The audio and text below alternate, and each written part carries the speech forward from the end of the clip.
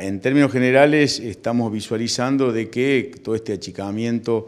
eh, del Estado que viene por políticas nacionales eh, puede estar impactando, todavía no tenemos un impacto directo, pero estamos previendo que pueda haber algún problema, especialmente en organismos que son sensibles, insisto, el tema SENASA. Con respecto al INTA también eh, se han achicado algún personal, eh, pero tampoco tenemos definido en este momento cuál es el impacto, porque hay que esperar para eso. Y insistimos en que hay una política de restricción de personal